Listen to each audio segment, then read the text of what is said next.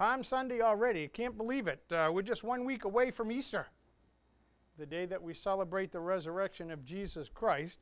And uh, needless to say, uh, you know, Easter is a big day in Christianity. It's kind of right up there with Christmas, or maybe, I don't know whether you put Easter above Christmas or Christmas above Easter. You put them on equal standing, whatever. But anyway, they're both big days, that's for sure. More people attend uh, church at Christmas time and on Easter than any other time or days in the, in the entire year, which is an interesting uh, phenomenon, I think, but uh, that's what it is. But I do want to say, although it's not as big, I think Palm Sunday is a special day for us as well. It's the day that we commemorate uh, Jesus' triumphant entry into Jerusalem on the final leg of his journey to the cross as he, as he focused, he had, he had laser focus on the cross. That's what he was going to Jerusalem for. And the day that we're celebrating today, Palm Sunday, is the day that he, he made that last leg to the cross on our behalf. In these next two Sundays uh, are the days that we use to remember, you know, when we celebrate uh, the work of Jesus Christ and his role in, in God's plan for the salvation of man. Big days, for sure. Uh, it's a time that we can reflect on the amazing love that God has for us in sending His Son uh, to earth, uh, both as God and man, uh, to die for us. We talked a little bit about that this morning in Sunday school, and pay for our sins so that we can have eternal life with God forever and ever by accepting Him as our personal Savior. So what we're going to do this morning is we're going to look we're going to look at the week before his death, beginning with his triumphant entry into Jerusalem, which of course is Palm Sunday, and we're going to go to Luke 19 verses 28 through 44 in a moment. And then we're going to finish our time with the night before his uh, crucifixion, at what we call the Last Supper. We're going to look at that in Luke chapter 22, verses 1 through 20. We're going to look at those two passages, and we're going to address the question why did Jesus come? Why did he come? And then we're going to finish our time together by taking uh, communion uh, together. Next Sunday, we're going to celebrate Easter by addressing the question Is seeing believing? So hopefully you can uh, make time for that. Don't forget breakfast at 9. We're going we're gonna, we're gonna feed you physically and spiritually next Sunday. So you're going to get a double benefit by being with us. And please make sure, invite some folks. Well, I think we have a few seats left. So invite some folks to come, have breakfast, and then we can just have a great time uh, enjoying and celebrating the resurrection of Jesus Christ. So let's pray. Father, this morning as we come again before you, we just thank you so much for your love. I pray as we look at your word and we reflect over what Jesus has done for us, uh, not only today, uh, throughout the week, uh, and uh, culminating uh, next Sunday with his resurrection. God, I pray that you would help us, that you, your Spirit would teach us, encourage our hearts. I pray, Father, that you would continue to just reveal yourself to us. We thank you for your love, and we're just great, so grateful that you put this plan together on our behalf. And we thank you in Jesus' name. Amen. So, why did Jesus come? Why did he come? I want us to look at the arrival, uh, his arrival at Jerusalem, the week before his death, and to see if we can find the answer. Turn to Luke chapter 19, if you would. And we're going to read verses 28 uh, through 44.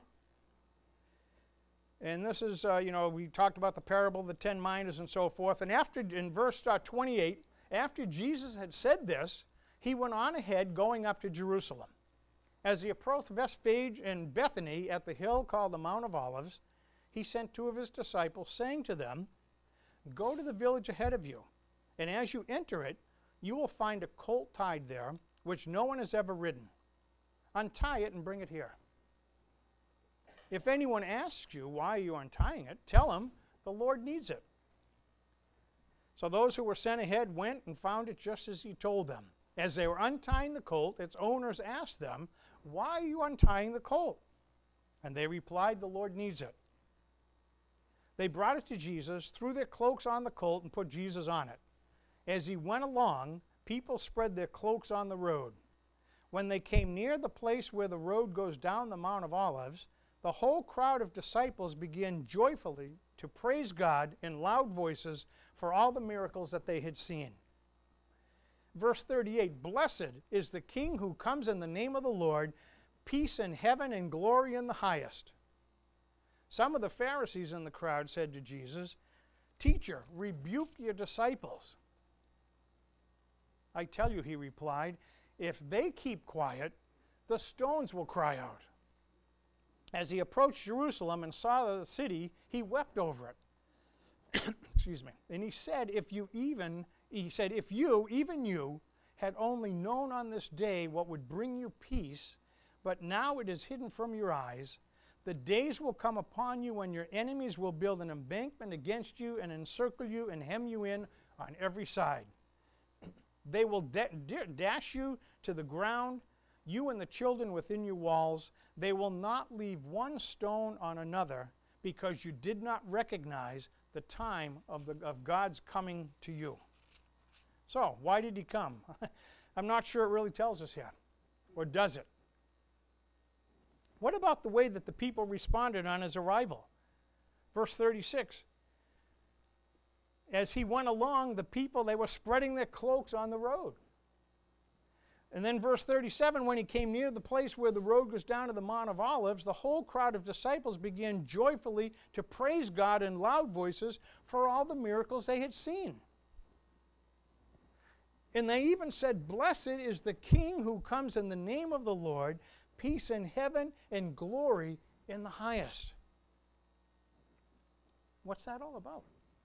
What's going on there? Verse 37 tells us that the whole crowd of disciples began joyfully to praise God in loud voices. And why did they do that? Because of the miracles that they had seen. Apparently, more than likely, they were talking and they were referencing all the miracles that they had seen Jesus perform during his three year earthly ministry with him. And we, you know, if you read the Gospels, they're, they're all there.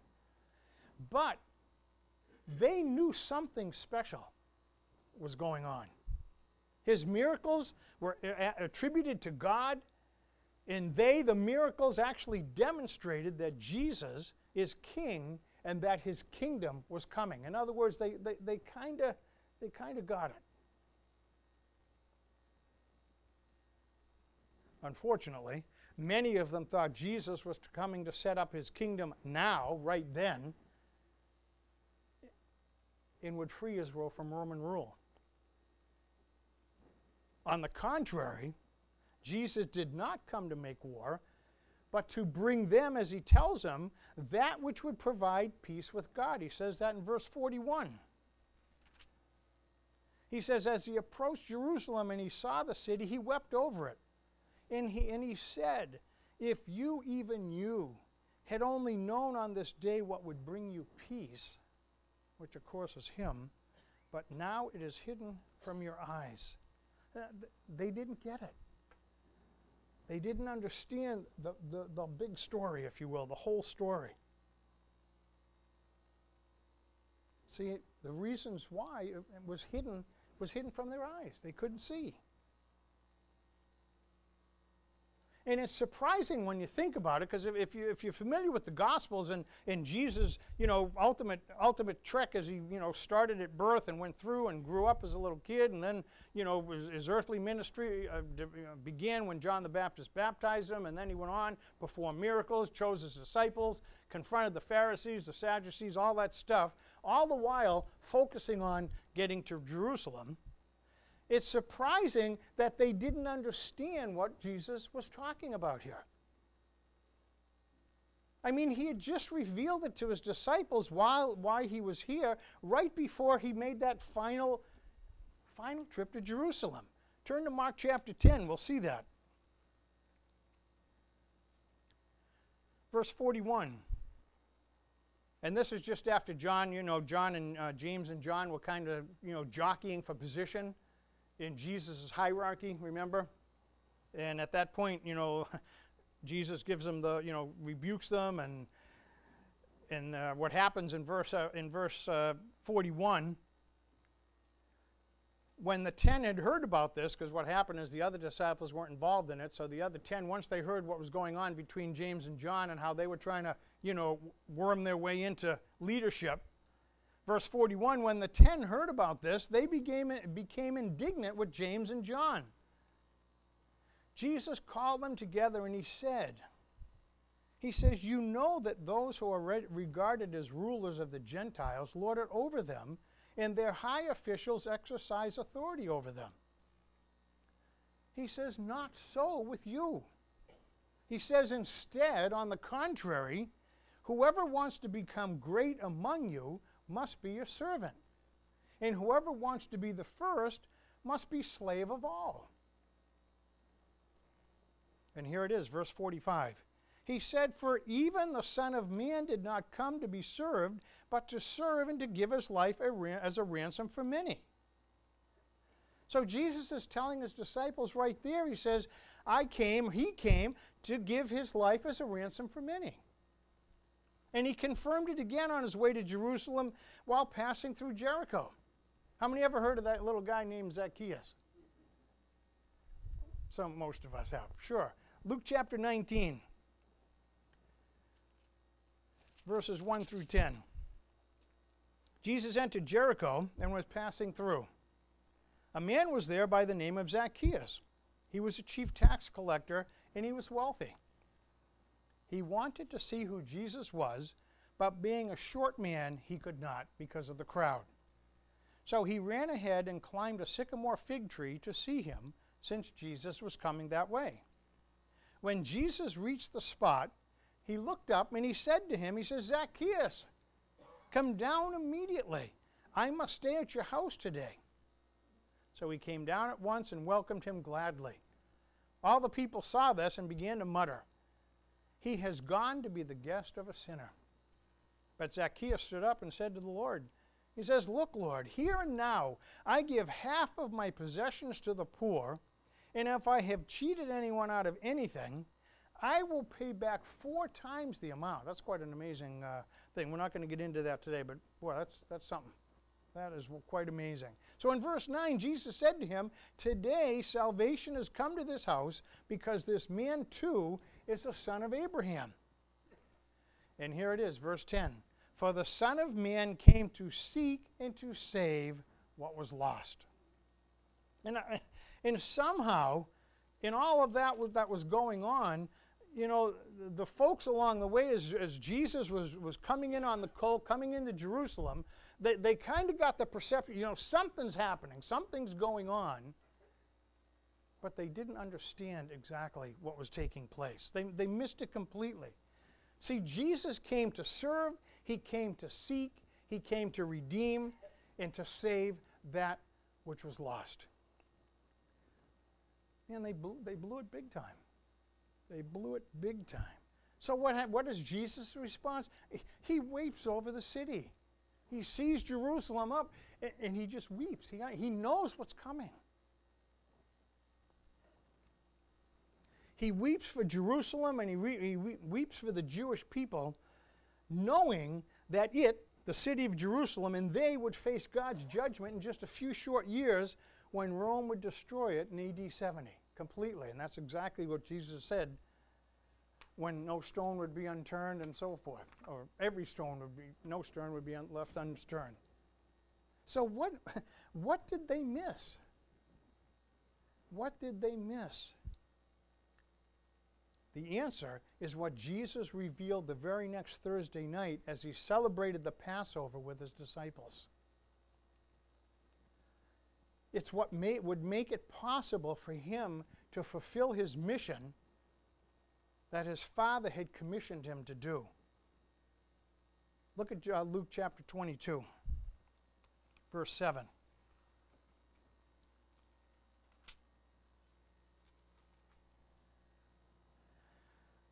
Then came the day of the unleavened bread on which the Passover lamb had to be sacrificed.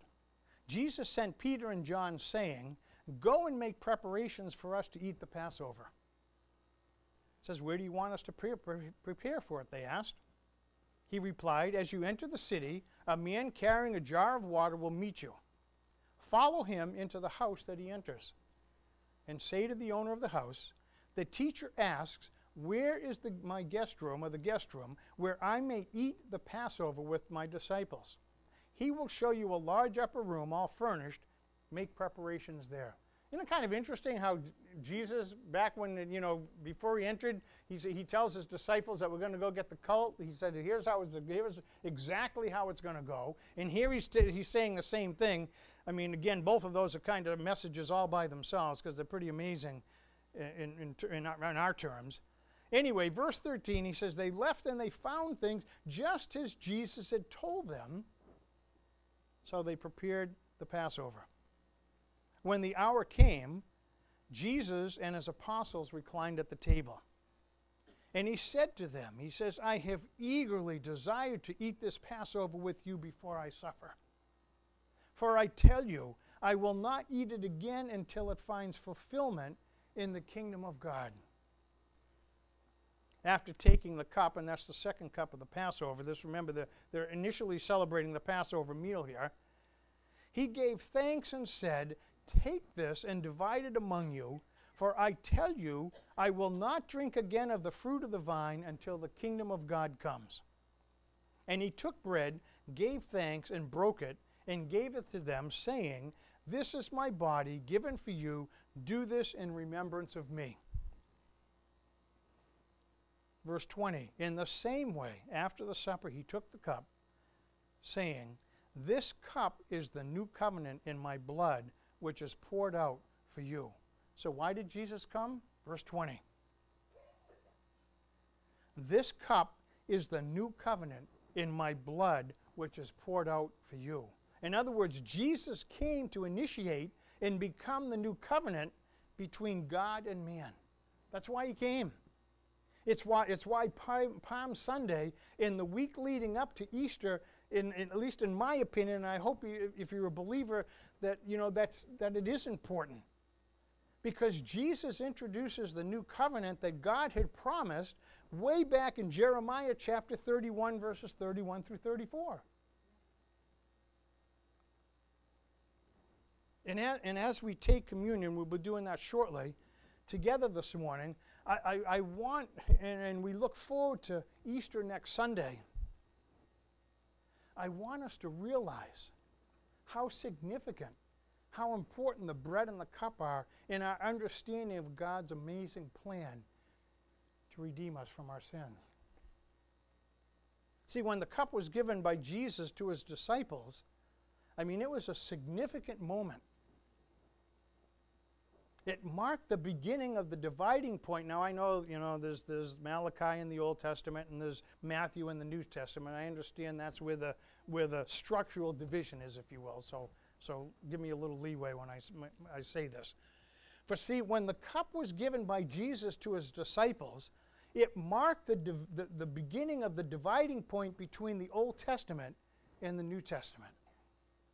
The Old Covenant, if you will, and the New Covenant. In my opinion, it's as significant as, as the dividing point, the difference between BC and AD. It's a, it's, uh, it's a big time. This is a significant time, and that's why you know, uh, communion is just so important for us to understand so that as we participate in it, as we partake it, we, we, really, we really grasp all, all of the stuff that the communion represents in, in our life as Christians. Because it's when Jesus promised, promises the new covenant agreement between God and man, and he does that at the Last Supper, which is to be fulfilled at the moment of his death on the cross and confirmed by his resurrection on Easter. See how they connect?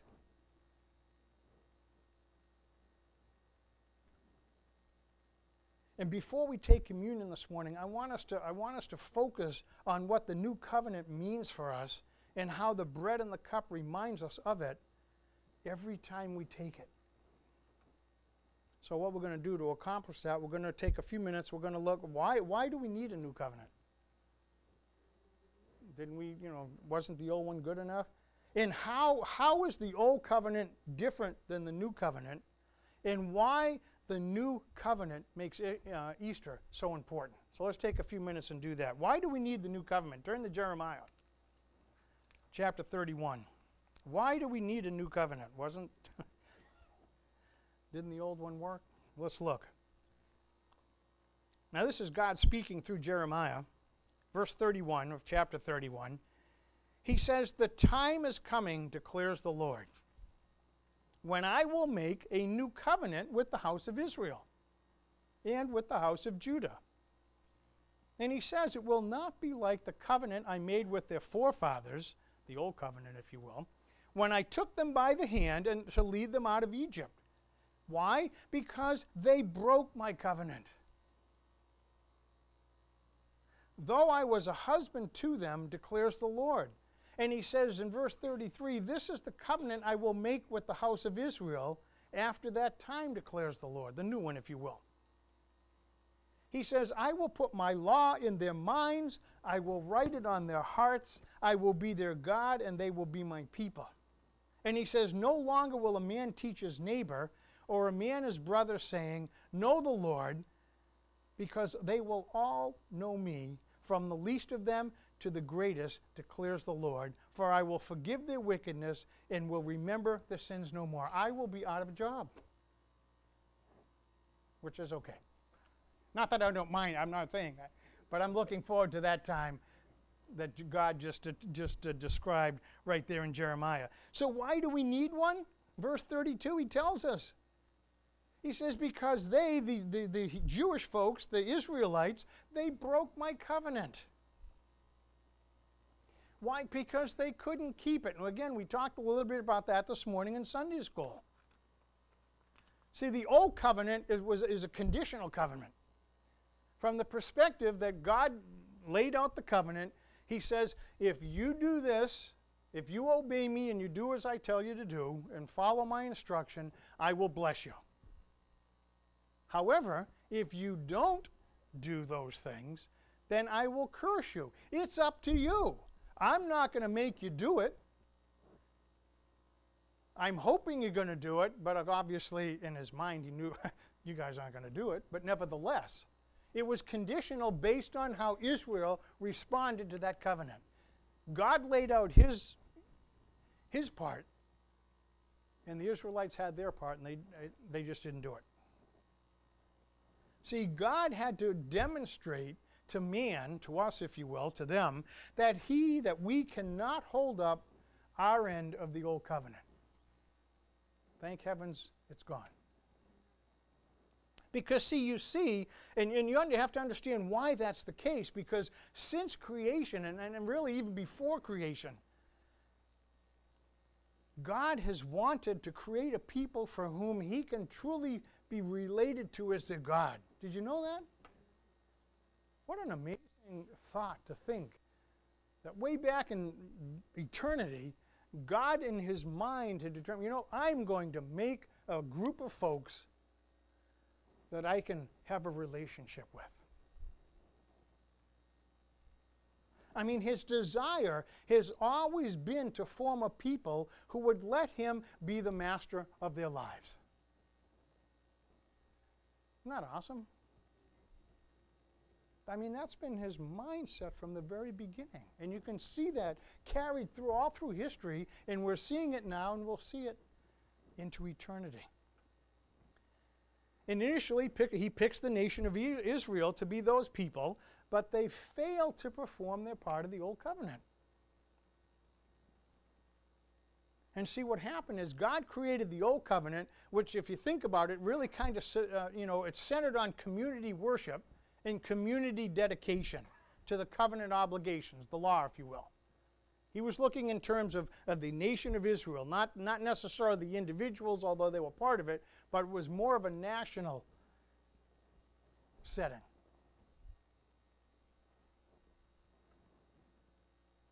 And God says, I'll do this, blessing, if you obey me, and I will do that, judgment, if you don't. And they refused to abide by the obligations that they had accepted under the old, co- old covenant, which made the new covenant necessary. That's why we needed a new covenant.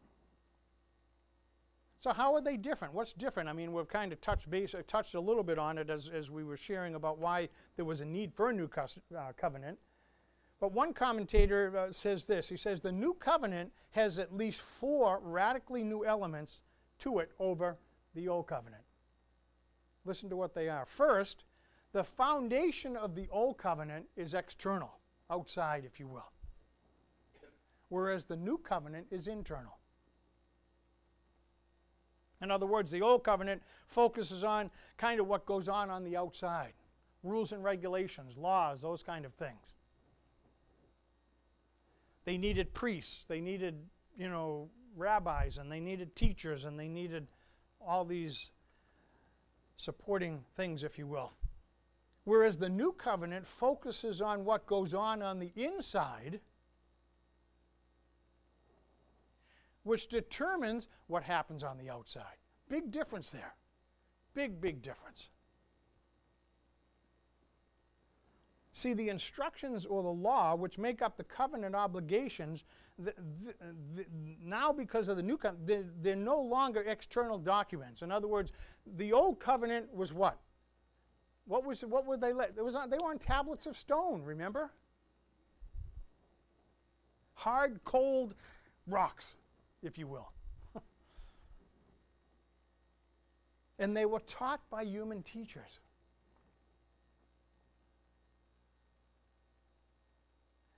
Whereas the new covenant are internal desires of, the, of, of, a transformed heart that's brought about by the Holy Spirit.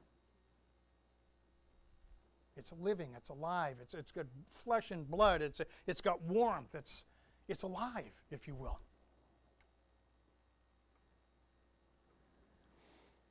Secondly, the new covenant is not restricted to one nation or worship community. In other words, all people are invited to know God in a personal, experiential way. Is that good news?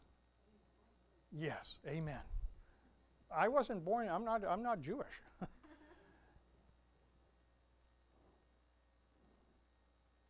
that is good news. In other words, instead of, uh, uh, instead of us having to rely on a religious leader for us to interact with God on our behalf, we, each of us as individuals, and then collectively as we come together to worship, we can experience and have an intimate relationship with, with the God of the universe. So different from under the old covenant. In other words, it, it, it's you and Him, it's me and Him. Big difference. It's not me up here doing it for you. And that's a good thing. That's, that's a wonderful thing, by the way. and then, thirdly, the new covenant is offered to individuals who can know God's personal forgiveness rather than emphasizing the nation as a worshiping community. And we see that when John chapter 4 when Jesus was talking with the Samaritan woman at the well, remember? They have this dialogue and, you know, and, and, and they're talking and Jesus, at the towards half, three quarters of the conversation, he's, he's telling her, he says, well, go get your husband and, and bring him back. And of course, well, I, I, I don't have one. And of course, Jesus gives her history. and she says, oh, how'd you know? How'd you know? But look what in verse 19. Sir, the woman said, I can see that you are a prophet. Bingo.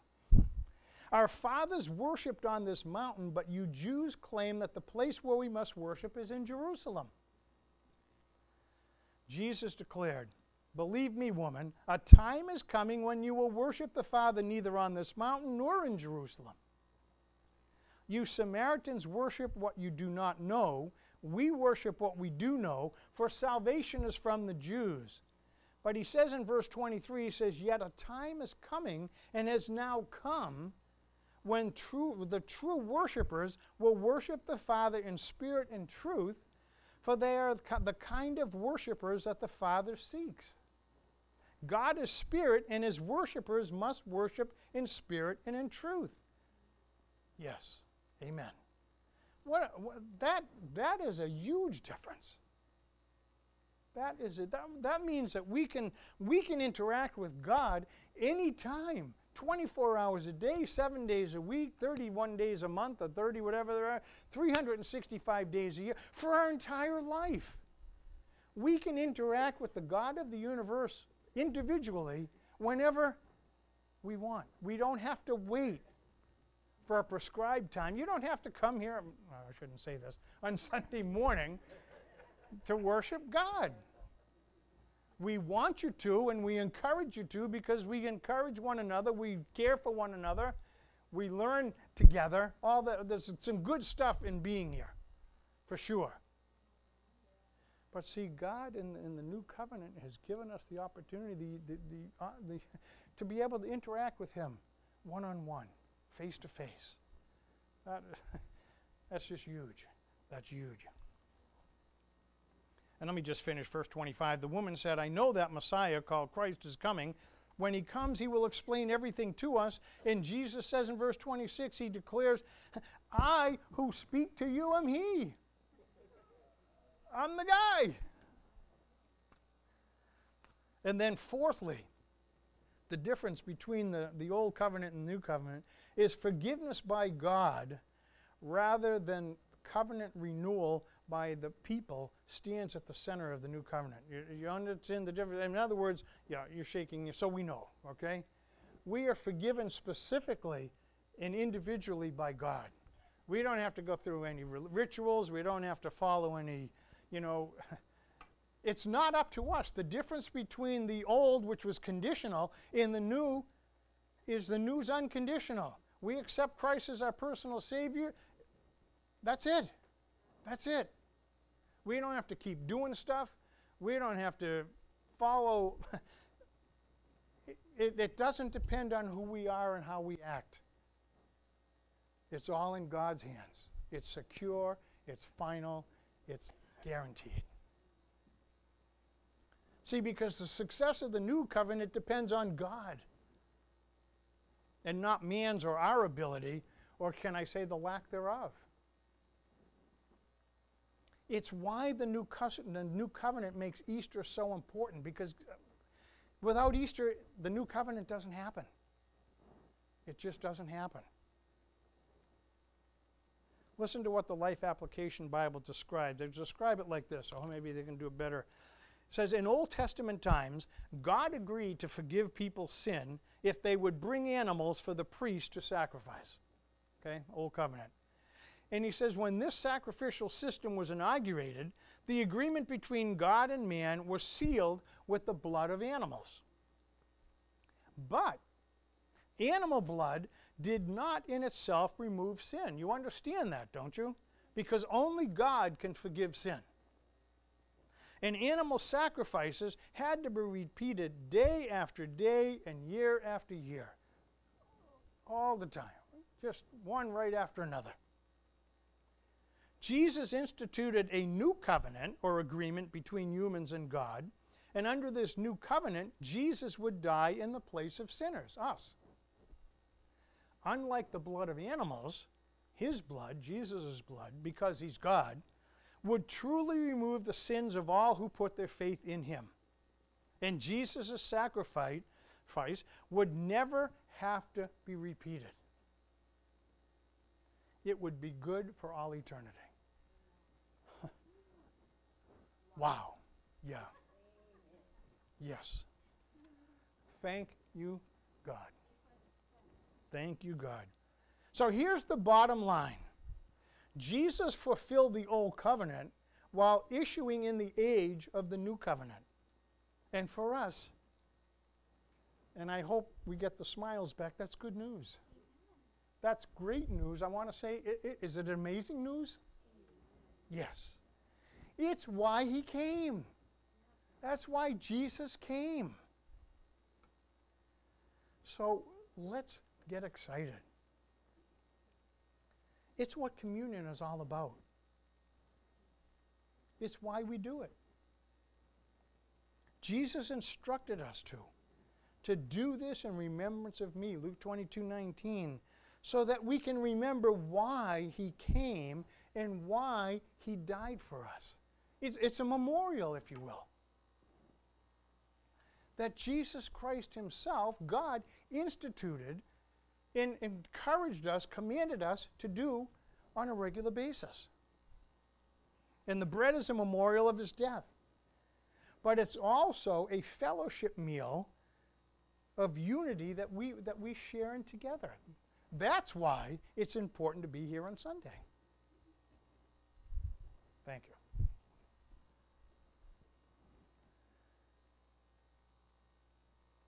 And it's a symbol of, of, our, of our anticipation of when Jesus returns and all of God's promises will be fulfilled. And remember, we talked about that several, several communions ago. Yes, it, you know, on, on the one hand, it focuses on his, on his death, but on the other hand, it gives us that, that, that opportunity to be able to look ahead into the future, knowing that he's coming back for us. And the cup is a symbol, a memorial, if you will, a, a reminder of the shedding of his blood. The new covenant that we've talked about, that he talked about, that he came to institute for his Father in order to bring us together in harmony with God. So as we begin to partake of the communion together, let's, let's remember three things. Let's remember the new covenant that Jesus brought to us and for us. Let's not forget it. That's, I hope, uh, my intent was that's our focus this morning the new covenant. But then let's also remember that communion is for believers only. Those of us that know Jesus Christ as our personal Savior, everyone is invited to participate, for sure, as long as you've accepted Jesus Christ as your Lord and Savior. And then, thirdly, Communion is not to be taken lightly. And yes, we want to get excited about it. We want to, we want to celebrate all that, all that it means and all that it's connected to and all that it re- represents for us. But at the same time, it's a picture of us coming into the, into the presence of, of, of God. And with that, we want to demonstrate due reverence and due, and due honor to God and it's, it's serious. And Paul warns us. Look in 1 Corinthians. Because the Corinthian church was, was abusing the, uh, the communion. So he, he writes this in verse 27. He says, Therefore, whoever eats the bread or drinks the cup of the Lord in an unworthy manner will be guilty of sinning against the blood, or the body and the blood of the Lord. Sounds like a serious indictment. A man ought to examine himself before he eats of the bread and drinks of the cup. For anyone who eats and drinks without recognizing the body of the Lord eats and drinks judgment on himself. Not good news. He says, he, he goes on to say, at least to the church of Corinth, he says, and I'm not going to say this is going to happen here, but you know, who knows. That is why many of you are weak and sick, and a number of you fallen asleep. And those folks that fallen asleep there, they weren't napping. They, were, they died because of their wanton, their blatant, you know, uh, the way they treated the communion. So he says, But if we judged ourselves, we would not come under judgment. When we are judged by the Lord, we are being disciplined so that we will not be condemned. So he says, Then, my brothers, when you come together to eat, wait for each other. If anyone is hungry, should eat at home. In other words, this isn't a, you know, a big banquet kind of a meal that we gorge ourselves and that kind of thing. So that when we meet together or you meet together, it may not result in judgment. So, what I'd like to do before we uh, partake of communion, I'd like to just uh, give us all opportunity to uh, just to go before the Lord and just ask Him if there's uh, issues or things in your in your heart that you know to confess to Him. We want you to be able to partake in communion clean and willing to you know open to to the Lord.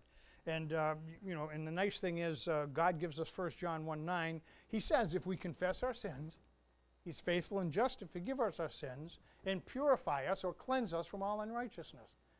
That's my second favorite verse after John 3:16. Because that's a good verse to keep in your wallet, in your pocket, in your mind, in your heart. Because uh, as you go along, you can uh, do exactly as uh, God wants us to, as He did. So, anyway, let's take a moment Uh, we're going to bow your head, and you can pray quietly or pray, pray silently, and then I'll close our time with prayer, and then we'll uh, pass out the bread and participate in that, partake in that, and then we'll pass out the cup. Let's pray.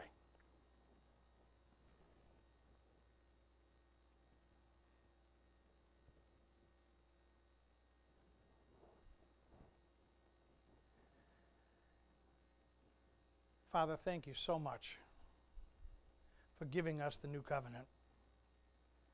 Because just like the Israelites, we would have blown it too.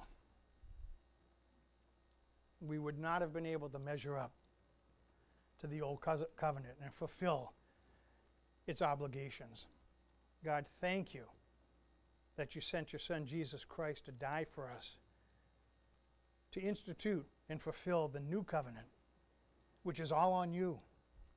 You, you provide every aspect of our relationship with you, God. You give us the love, you give us the faith, you give us your word, you give us your spirit, you gave us your Son. And Father, you give us forgiveness. Father, thank you that all we have to do is talk to you about it.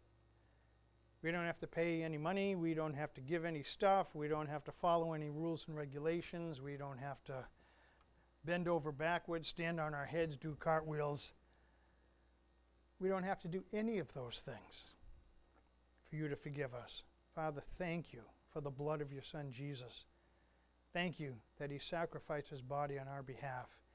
And I pray, God, that as we come together to commemorate just what Jesus did for us, I pray, Father, that your Spirit would move in our midst, in our hearts, and draw us closer to you. In Jesus' name, amen. So, if we could, uh, our men, if they could come forward, and we'll pass out the uh, bread.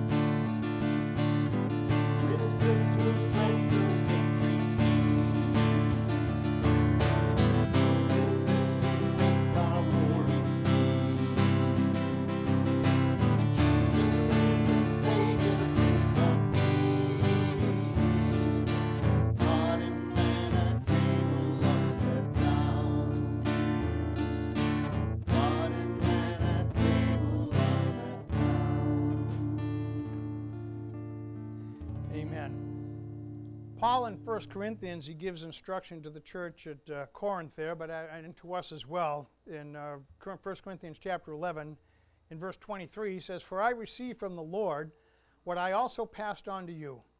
The Lord Jesus, on the night he was betrayed, he took bread, and when he had given thanks, he broke it and said, This is my body, which is for you. Do this in remembrance of me.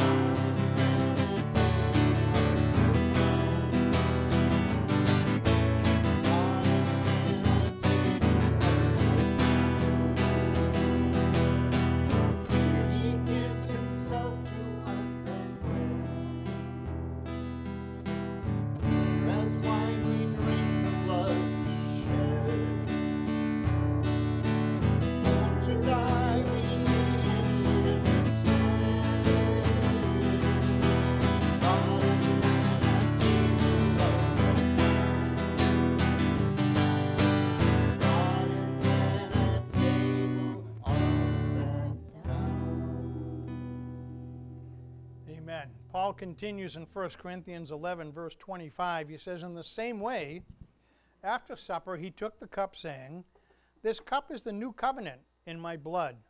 Do this whenever you drink it in remembrance of me. For whenever you eat this bread and drink this cup, you proclaim the Lord's death until he comes.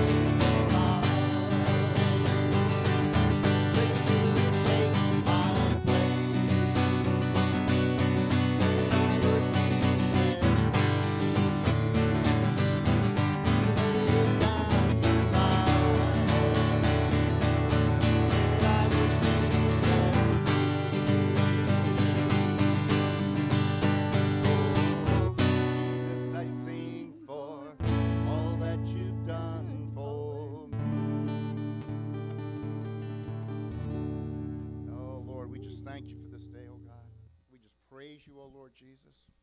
Lord God, as we prepare to make our way to our homes or out to eat, fellowship with friends, oh God, would ask that you would bless each and every one, oh Lord Jesus. May the Lord bless you and keep you. The Lord make his face shine upon you and be gracious to you. The Lord lift up his countenance upon you and give you peace. We pray that you all have a wonderful week. Don't forget Wednesday night 6:15 prayer, 6:30 Bible study. Next week we're not having Sunday school, but at 9 o'clock we'll be gathering in the fellowship hall for a little feast of our own. And then Easter service at 10:30. Don't forget 7 o'clock at the cir- uh, circle. Southside Baptist will have a sunrise service. Bless you all.